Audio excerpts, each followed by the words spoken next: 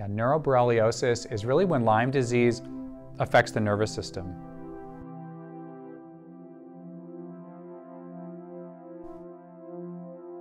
So Lyme disease is famous for causing nervous system problems. Um, and it causes odd neurological problems probably about 60% of the time.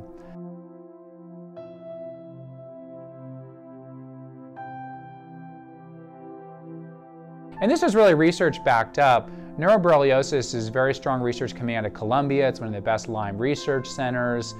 And they have the advantage of having a psychiatrist on their Lyme research team who's very, uh, he was surprised when they first started looking. He goes, oh my goodness, the nerve damage and the nerve problems that this disease causes are astounding. My wife is experiencing some of these symptoms with her tick-borne illness. You get things like POTS, you get rapid heartbeats, you get vertigo, vestibular problems. I think one of the most well-documented problems that you can get is called facial nerve palsy. This is where you get a Bell's palsy or a facial nerve palsy where you literally look like you're having a stroke. So half your nerve, your, your face will just like go numb and start to sag. And so that's very scary for people. The reason that that type of neuroborreliosis is studied is because it's visible and you can see it and everybody else can see it. So you can see the problem where really in Lyme disease, that kind of thing is happening to nerves all over.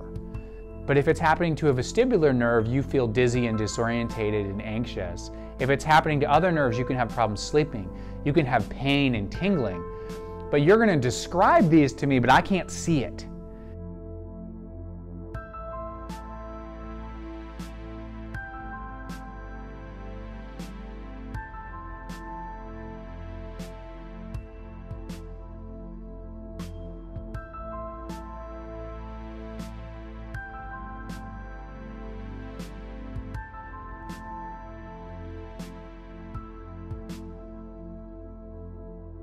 Especially because nerve problems are very difficult to describe for most patients. You know, they use words and they go, I don't know how to describe what I am feeling. This is a big reason that I partnered with Dr. Paul. So when you come in for a new visit, people always see Dr. Paul and Dr. Warren. Dr. Paul does a very thorough neuro exam. At least half the time, the, the findings that he finds are, are, surprising to people. So he makes you close your eyes and, and put your feet together, and we have people falling off you know, the, the balance plate, um, and they have no idea that they don't have good balance. They are very surprised by this. We have people who play memory games. We had someone yesterday who, you know, we, we say, okay, remember these three words, and then 10 minutes later we ask you the three words. She couldn't remember any of them. And she goes, I didn't realize my memory was was this bad. And this is really true for a lot of neurological problems. It's especially Lyme, it hits the frontal lobe so well. It, it it becomes difficult to become self-aware of the problems because you are aware of things through your nervous system. So when your nervous system starts betraying you, it becomes very odd sensations.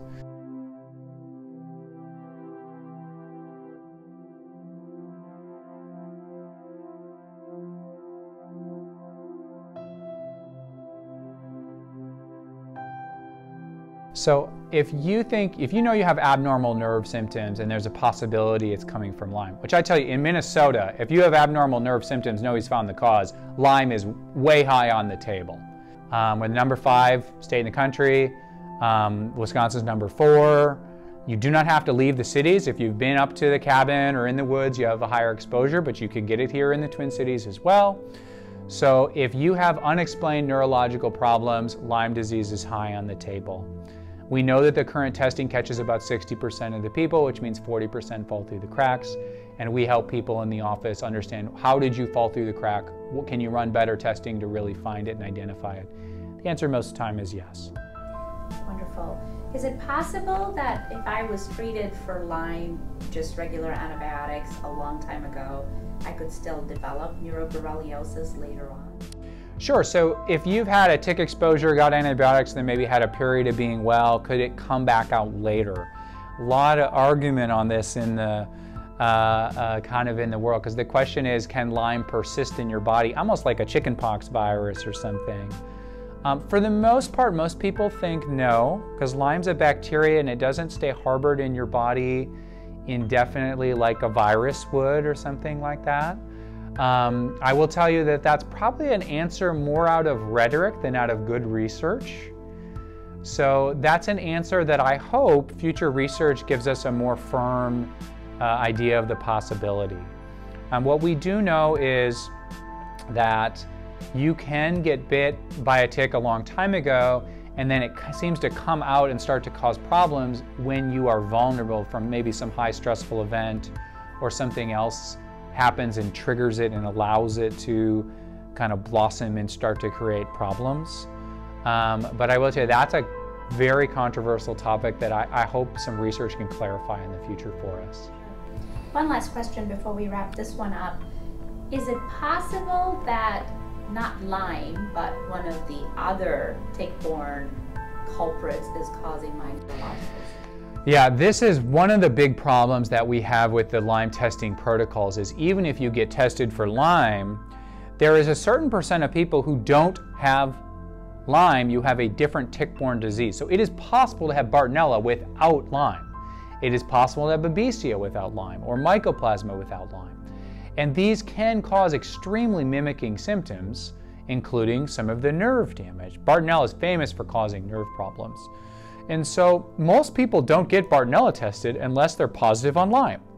This is a huge hole in the testing problem.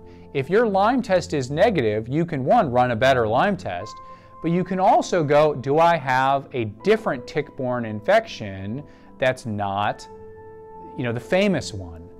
right? And so that's another hole that we help people that are falling through. Is we go, you don't have Lyme, you have Bartonella, and nobody just tests just Bartonella. Wonderful.